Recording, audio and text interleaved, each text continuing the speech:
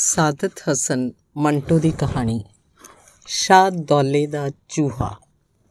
ਸਲੀਮਾ ਦੀ ਜਦੋਂ ਸ਼ਾਦੀ ਹੋਈ ਤਾਂ ਉਹ 21 ਵਰਿਆਂ ਦੀ ਸੀ।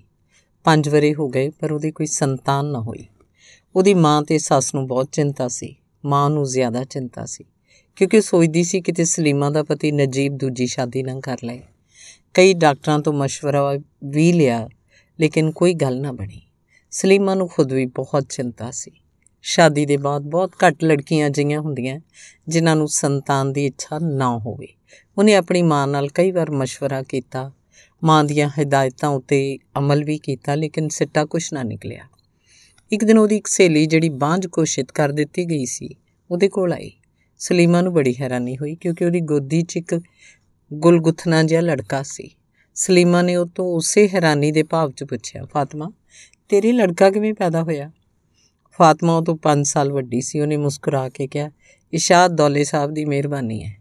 ਮੈਨੂੰ ਇੱਕ ਔਰਤ ਨੇ ਕਿਹਾ ਕਿ ਤੂੰ ਔਲਾਦ ਚਾਹੁੰਦੀ ਹੈ, ਤਾਂ ਗੁਜਰਾਤ ਜਾ ਕੇ ਇਸ਼ਾਦ ਦੌਲੇ ਸਾਹਿਬ ਦੇ ਮਜ਼ਾਰ ਤੇ ਮਿੰਨਤ ਕਰ ਤੇ ਕਹਿ ਕਿ ਮੇਰੇ ਜੋ ਪਹਿਲਾ ਬੱਚਾ ਹੋਏਗਾ, ਉਹਨੂੰ ਚੜਾਵੇ ਦੇ ਤੌਰ ਤੇ ਮੈਂ ਤੁਹਾਡੇ ਮਜ਼ਾਰੇ ਤੇ ਚੜਾਵਾਂਗੀ ਉਹਨੇ ਸਲੀਮਾ ਨੂੰ ਇਹ ਦੱਸਿਆ ਕਿ ਜਦੋਂ ਸ਼ਾਹ ਦੌਲੇ ਸਾਹਿਬ ਦੇ ਮਜ਼ਾਰ ਤੇ ਅਜਿਹੀ ਮਿੰਨਤ ਕੀਤੀ ਜਾਏ, ਤਾਂ ਪਹਿਲਾ ਬੱਚਾ ਜਿਹਾ ਪੈਦਾ ਹੁੰਦਾ ਜਿਹਦਾ ਸਿਰ ਬਹੁਤ ਛੋਟਾ ਹੁੰਦਾ ਹੈ।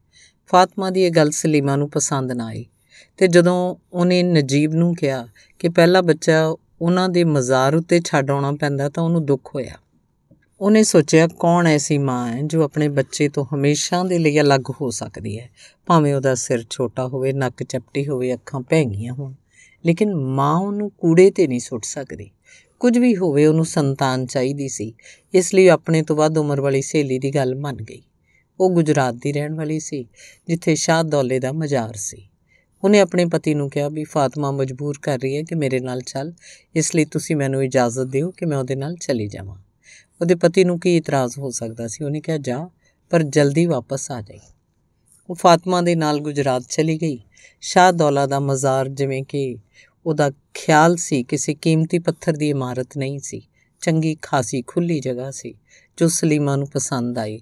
ਲੇਕਿਨ ਜਦੋਂ ਉਹਨੇ ਇੱਕ ਪਾਸੇ ਭੀੜ 'ਚ ਸ਼ਾਹ ਦੌਲੇ ਦੇ ਚੂਹੇ ਦੇਖੇ, ਜਿਨ੍ਹਾਂ ਦੀ ਨੱਕ 'ਚੋਂ ਸੀਂਡ ਵਗ ਰਿਹਾ ਸੀ, ਉਹਨਾਂ ਦਾ ਦਿਮਾਗ ਬਿਲਕੁਲ ਗਾਇਬ ਸੀ। ਉਹ ਕੰਬ ਉੱਠੀ। ਉਹਦੇ ਸਾਹਮਣੇ ਇੱਕ ਜਵਾਨ ਲੜਕੀ ਸੀ, ਜੋ ਆਪਣੇ ਪੂਰੇ ਜੋਬਨ ਉੱਤੇ ਸੀ। ਲੇਕਿਨ ਉਹ ਕੁਝ ਐਸੀਆਂ ਹਰਕਤਾਂ ਕਰ ਰਹੀ ਸੀ ਕਿ ਗੰਭੀਰ ਤੋਂ ਗੰਭੀਰ ਵਿਅਕਤੀ ਨੂੰ ਵੀ ਹਾਸਾ ਆ ਸਕਦਾ ਸੀ। ਸਲੀਮਾ ਨੂੰ ਦੇਖ ਕੇ ਇੱਕ ਪਲ ਦੇ ਲਈ ਹੱਸੀ, ਲੇਕਿਨ ਤੁਰੰਤ ਹੀ ਉਹਦੀਆਂ ਅੱਖਾਂ 'ਚ ਹੰਝੂ ਆ ਗਏ। ਸੋਚਣ ਲੱਗੀ ਕਿ ਉਸ ਲੜਕੀ ਦਾ ਕੀ ਹੋਏਗਾ। ਉੱਥੋਂ ਦੇ ਮਾਲਕ ਉਹਨੂੰ ਕਿਸੇ ਦੇ ਹੱਥ ਵੇਚ ਦੇਣਗੇ, ਜੋ ਬਾਂਦਰੀ ਬਣਾ ਕੇ ਉਹਨੂੰ ਜਗ੍ਹਾ ਜਗ੍ਹਾ ਘੁਮਾਉਣਗੇ।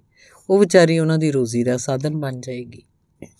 ਉਹਦਾ ਸਿਰ ਬਹੁਤ ਛੋਟਾ ਸੀ, ਪਰ ਉਹਨੇ ਸੋਚਿਆ ਕਿ ਜੇ ਸਿਰ ਛੋਟਾ ਹੈ ਤਾਂ ਮਨੁੱਖ ਦੀ ਕਿਸਮਤ ਤਾਂ ਛੋਟੀ ਨਹੀਂ ਹੈ। ਉਹ ਤਾਂ ਪਾਗਲਾਂ ਦੇ ਨਾਲ ਵੀ ਲੱਗੀ ਹੈ। ਸ਼ਾਹ ਦੌਲੇ ਦੀ ਇਸ ਚੂਹੀ ਦਾ ਸਰੀਰ ਬਹੁਤ ਸੁੰਦਰ ਸੀ।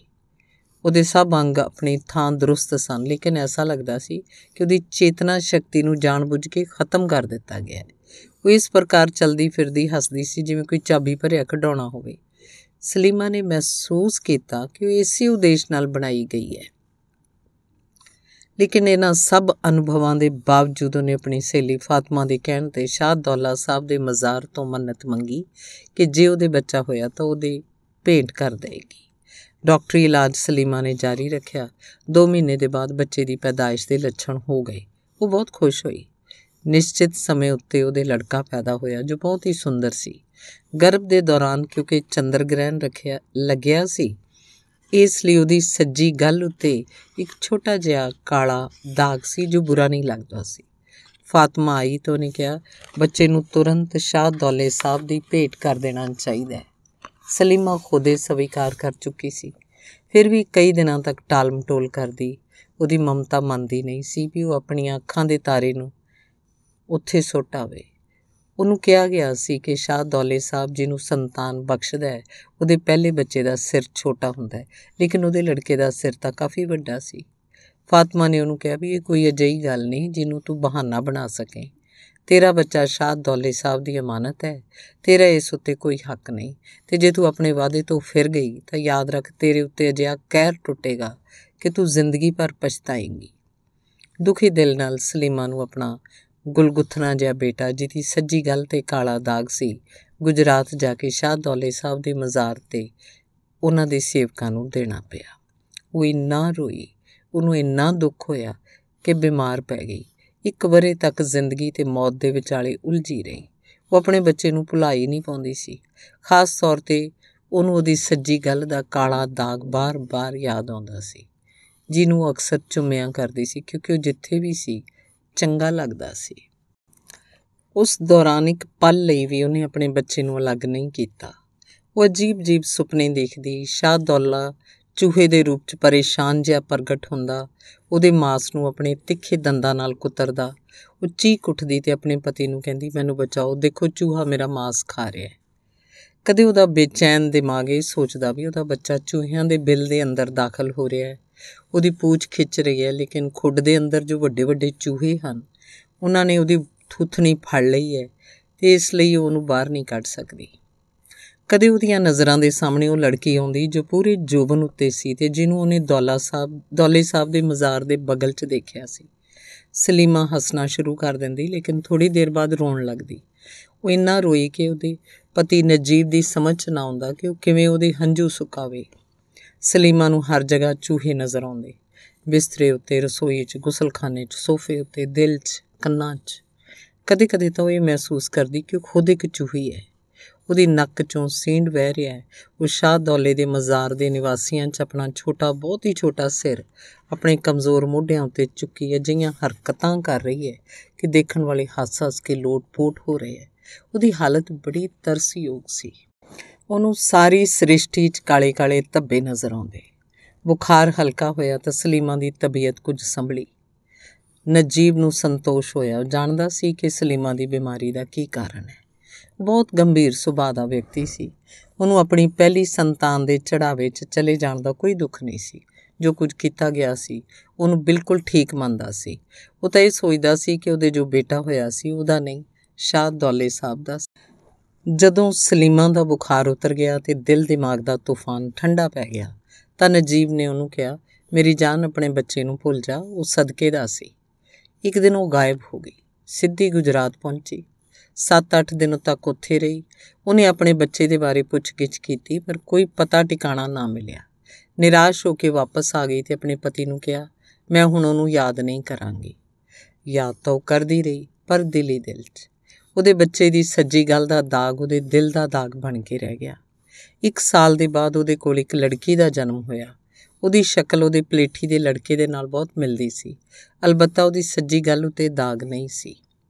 ਉਹਦਾ ਨਾਮ ਉਹਨੇ ਮੁਜੀਬਾ ਰੱਖਿਆ, ਕਿਉਂਕਿ ਆਪਣੇ ਬੇਟੇ ਦਾ ਨਾਮ ਉਹਨੇ ਮੁਜੀਬ ਸੋਚਿਆ ਸੀ ਕਿ ਜਦੋਂ ਉਹ 2 ਮਹੀਨੇ ਦੀ ਹੋ ਗਈ ਤਾਂ ਉਹਨੇ ਉਹਨੂੰ ਗੋਦ 'ਚ ਚੁੱਕਿਆ ਤੇ ਸੁਰਮੇਦਾਨੀ 'ਚੋਂ ਥੋੜਾ ਸੁਰਮਾ ਕੱਢ ਕੇ ਉਹਦੀ ਸੱਜੀ ਗੱਲ ਉੱਤੇ ਇੱਕ ਵੱਡਾ ਸਾਰਾ ਤਿਲ ਬਣਾ ਦਿੱਤਾ ਤੇ ਮੁਜੀਬ ਨੂੰ ਯਾਦ ਕਰਕੇ ਰੋਣ ਲੱਗੀ। ਉਹਦੇ ਹੰਝੂ ਗੱਲਾਂ ਤੇ ਟੱਪ ਟਪਕੇ ਤਾਂ ਉਹਨੇ ਤੁਰੰਤ ਹੀ ਆਪਣੇ ਦੁਪੱਟੇ ਨਾਲ ਪੂੰਝੇ ਤੇ ਹੱਸਣ ਲੱਗੀ। ਉਹ ਕੋਸ਼ਿਸ਼ ਕਰਨਾ ਚਾਹੁੰਦੀ ਸੀ ਕਿ ਆਪਣਾ ਦੁੱਖ ਭੁੱਲ ਜਾਏ। ਇਹਦੇ ਬਾਅਦ ਸਲੀਮਾ ਦੇ ਦੋ ਲੜਕੇ ਪੈਦਾ ਹੋਏ। ਉਹਦਾ ਪਤੀ ਹੁਣ ਬਹੁਤ ਪ੍ਰਸੰਨ ਸੀ। ਇੱਕ ਵਾਰ ਸਲੀਮਾ ਨੂੰ ਕਿਸੇ ਸਹੇਲੀ ਦੀ ਸ਼ਾਦੀ ਦੇ ਮੌਕੇ ਤੇ ਗੁਜਰਾਤ ਜਾਣਾ ਪਿਆ ਤਾਂ ਉਹਨੇ ਇੱਕ ਵਾਰ ਫਿਰ ਆਪਣੇ ਮੁਜੀਬ ਦੇ ਬਾਰੇ ਪੁੱਛਗਿੱਛ ਕੀਤੀ, ਪਰ ਸਫਲਤਾ ਨਾ ਮਿਲੀ। ਉਹਨੇ ਸੋਚਿਆ ਕਿ ਸ਼ਾਇਦ ਮਰ ਗਿਆ ਹੈ। ਇਸ ਲਈ ਵੀਰਵਾਰ ਨੂੰ ਉਹਨੇ ਉਹਦਾ 40ਵਾਂ ਚੰਗੀ ਤਰ੍ਹਾਂ ਕਰ ਦਿੱਤਾ। ਆਂਡ ਗਵਾਂਡ 'ਚ ਸਭ ਔਰਤਾਂ ਹੈਰਾਨੀ 'ਚ ਸਨ ਕਿ ਕਿਹਦੇ ਬਾਰੇ ਇੰਨਾ ਝੰਜਟ ਕੀਤਾ ਗਿਆ ਕਿਸੇ ਨੇ ਸਲੀਮਾ ਤੋਂ ਪੁੱਛਿਆ ਵੀ, ਪਰ ਉਹਨੇ ਕਿਸੇ ਨੂੰ ਕੋਈ ਜਵਾਬ ਨਾ ਦਿੱਤਾ। ਸ਼ਾਮ ਨੂੰ ਉਹਨੇ ਆਪਣੇ ਦਸਾਂ, ਆਪਣੀ ਦਸਾਂ ਵਰਿਆਂ ਦੀ ਲੜਕੀ ਮੁਜੀਬਾ ਦਾ ਹੱਥ ਫੜਿਆ, ਅੰਦਰ ਕਮਰੇ 'ਚ ਲੈ ਗਈ। ਸੁਰਮੇ ਨਾਲ ਉਹਦੀ ਸੱਜੀ ਗੱਲ ਤੇ ਵੱਡਾ ਸਾਰਾ ਤਿਲ ਬਣਾਇਆ। ਦੇਰ ਤੱਕ ਉਸ ਤਿਲ ਨੂੰ ਚੁੰਮਦੀ ਰਹੀ। ਉਹ ਮੁਜੀਬਾ ਨੂੰ ਹੀ ਆਪਣਾ ਖੋਇਆ ਹੋਇਆ ਬੇਟਾ ਮੰਨਦੀ ਸੀ। ਹੁਣ ਉਹਨੇ ਉਹਦੇ ਬਾਰੇ ਸੋਚਣਾ ਛੱਡ ਦਿੱਤਾ ਸੀ। ਉਹਦਾ 40ਵਾਂ ਕਰਾਉਣ ਤੋਂ ਬਾਅਦ ਉਹਦੇ ਦਿਲ ਦਾ ਬੋਝ ਹਲਕਾ ਹੋ ਗਿਆ ਸੀ। ਉਹਨੇ ਆਪਣੇ ਦਿਲ ਦੀ ਦੁਨੀਆ 'ਚ ਉਹਦੀ ਕਬਰ ਵੀ ਬਣਾ ਲਈ ਸੀ, ਜਿਸ ਉੱਤੇ ਆਪਣੇ ਵਿਚਾਰਾਂ ਦੀ ਦੁਨੀਆ 'ਚ ਫੁੱਲ ਵੀ ਚੜਾਇਆ ਕਰਦੀ ਸੀ। ਉਹਦੇ ਤਿੰਨ ਬੱਚੇ ਸਕੂਲ 'ਚ ਪੜ੍ਹਦੇ ਸੀ। ਉਹਨਾਂ ਨੂੰ ਹਰ ਰੋਜ਼ ਸਵੇਰੇ ਸਲੀਮਾਂ ਤਿਆਰ ਕਰਦੀ, ਉਹਨਾਂ ਲਈ ਨਾਸ਼ਤਾ ਬਣਾਉਂਦੀ, ਹਰ ਇੱਕ ਨੂੰ ਨਵਾਉਂਦੀ, ਸਵਾਰਦੀ। ਜਦੋਂ ਚਲੇ ਜਾਂਦੇ ਤਾਂ ਇੱਕ ਪਲ ਦੇ ਲਈ ਆਪਣੇ ਮੁਜੀਬ ਦਾ ਖਿਆਲ ਆਉਂਦਾ। ਬੇਸ਼ੱਕ ਉਹਦਾ 40ਵਾਂ ਕਰ ਚੁੱਕੀ ਸੀ ਤੇ ਉਹਦੇ ਦਿਲ ਦਾ ਬੋਝ ਹਲਕਾ ਹੋ ਗਿਆ ਸੀ। ਫਿਰ ਵੀ ਉਹਨੂੰ ਕਦੀ-ਕਦੀ ਅਜਿਹਾ ਲੱਗਦਾ ਕਿ ਮੁਜੀਬ ਦੀ ਸੱਜੀ ਗੱਲ ਦਾ ਕਾਲਾ ਦਾਗ ਉਹਦੇ ਦਿਮਾਗ 'ਚ ਮੌਜੂਦ ਹੈ। ਇੱਕ ਦਿਨ ਉਹਦੇ ਤਿੰਨੇ ਬੱਚੇ ਭੱਜੇ ਆਏ, ਕਹਿਣ ਲੱਗੇ, ਅੰਮੀ, ਅਸੀਂ ਤਮਾਸ਼ਾ ਦੇਖਣਾ ਹੈ। ਉਹਨੇ ਬੜੇ ਪਿਆਰ ਨਾਲ ਪੁੱਛਿਆ, ਕਿਆ ਤਮਾਸ਼ਾ? ਉਹਦੀ ਲੜਕੀ ਨੇ ਜੋ ਸਭ ਤੋਂ ਵੱਡੀ ਸੀ ਕਿਹਾ, ਅੰਮੀ, ਜਾਨ, ਇੱਕ ਆਦਮੀ ਹੈ, ਬੜਾ ਵਧੀਆ ਤਮਾਸ਼ਾ ਦਿਖਾਉਂਦਾ ਹੈ। ਸਲੀਮਾ ਨੇ ਕਿਹਾ, ਜਾਓ ਉਹਨੂੰ ਬੁਲਾ ਲਿਓ ਉਹ ਘਰ ਅੰਦਰ ਨਾ ਆਵੇ, ਬਾਹਰ ਤਮਾਸ਼ਾ ਕਰੇ। ਬੱਚੇ ਭੱਜੇ ਹੋਏ ਆਏ। ਉਸ ਆਦਮੀ ਨੂੰ ਬੁਲਾ ਲਿਆਏ ਤੇ ਤਮਾਸ਼ਾ ਦੇਖਦੇ ਰਹੇ। ਜਦੋਂ ਖਤਮ ਹੋ ਗਿਆ ਤਾਂ ਮੁਜੀਬਾ ਆਪਣੀ ਮਾਂ ਦੇ ਕੋਲ ਗਈ ਤਾਂ ਕਿ ਪੈਸੇ ਦੇ ਦੇਵੇ।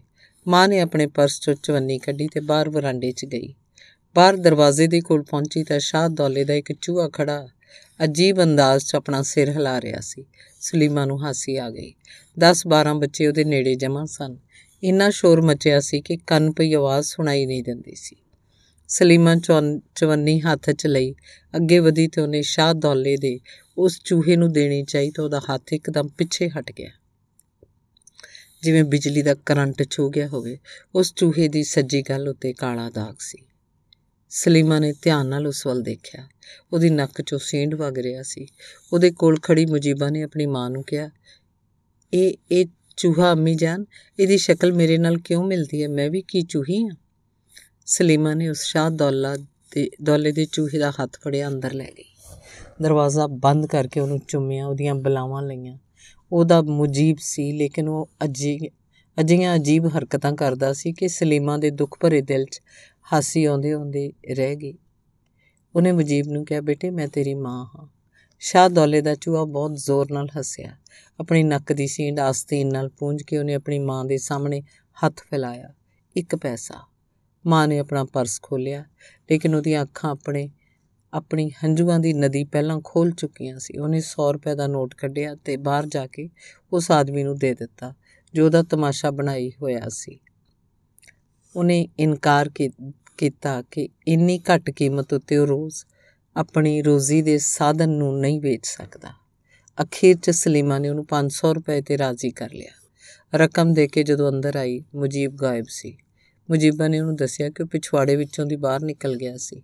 ਸਲੀਮਾ ਦੀ ਕੁੱਖ ਪੁਕਾਰਦੀ ਰਹੀ ਕਿ ਮੁਜੀਬ ਵਾਪਸ ਆ ਜਾ। ਲੇਕਿਨ ਉਹ ਐਸਾ ਗਿਆ ਕਿ ਫਿਰ ਵਾਪਸ ਨਾ ਆਇਆ। ਧੰਨਵਾਦ।